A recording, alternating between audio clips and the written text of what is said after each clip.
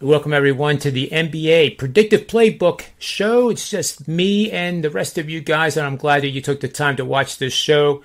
We're talking NBA for October 27th, 2021. We have the Atlanta Hawks traveling to take on the Pelicans, who are 1 and 2 in the season, while the Hawks are 2 and 1.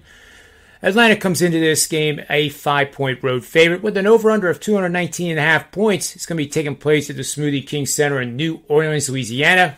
I like the Pelicans in this matchup, despite the fact that Zion Williamson is out indefinitely with that injury on his foot. Know that teams, and this is coming from my predictive models, teams are 22 7 and 1 against the spread when scoring 111 points installed as a home dog and having lost four consecutive matchups to the spread. Also, 24 7 and 1 when the Pelicans score 111 or more points installed as a home dog spanning the last five seasons. Lastly, underdogs of three and a half to nine and a half points in a non-conference matchup during the first 10 games of the season. After that underdog lost their last three games against the spread of the previous season are very, very good.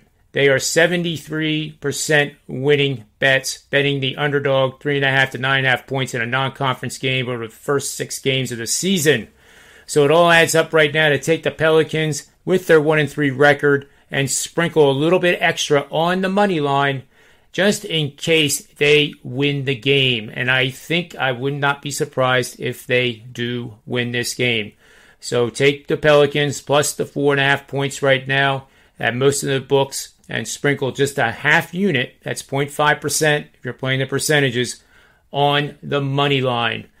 So that's a wrap for the NBA Episode 1 2021 season premiere. I am your host, John Ryan, and may all the wins be yours. Thank you for watching.